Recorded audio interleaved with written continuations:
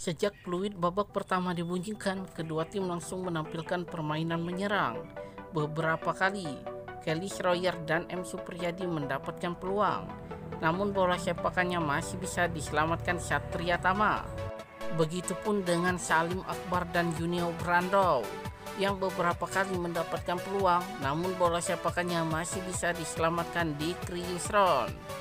Tepat pada menit ke-8, Flavio Silva berhasil mencetak gol dan membawa Persi Kediri unggul sementara 1-0 atas Madura United.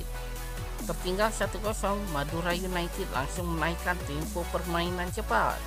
Pada menit ke-23, Lulinha mendapatkan peluang, namun bola sepakannya masih mengenai tiang gawang.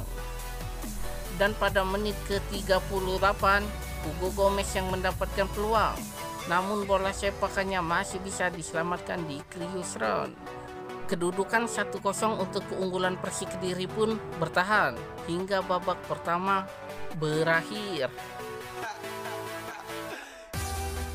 Pada babak kedua, di menit ke-50, lagi-lagi Flavio Silva berhasil mencetak gol dan membawa Persik Kediri unggul menjadi 2-0 atas Madura United.